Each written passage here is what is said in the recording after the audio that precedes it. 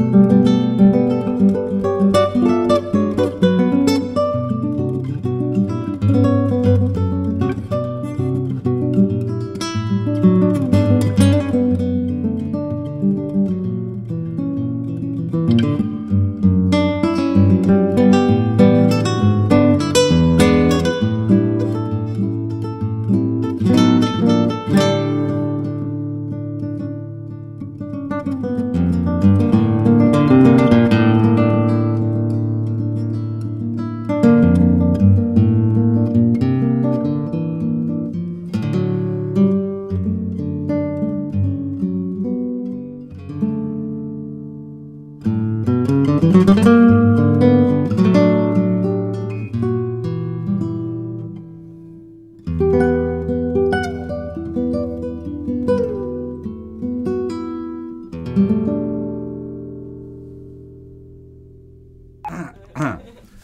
nome é André Siqueira. Siqueira, talvez. Não, e... Siqueira, não, né? Siqueira. o que você acha? Muito feliz. Tá um som bonito, foi, foi tranquilo, a convivência foi boa, né? Essa gravação, pelo menos, é, é a primeira na, na vida que é assim, vou tocar só o que eu quiser tocar, sabe? Não é o que eu tenho que tocar, porque é uma razão, não tem razão nenhuma, é só. Né? E agora é só, só alegria, só botar pra, pra rua o disco né? e os áudios.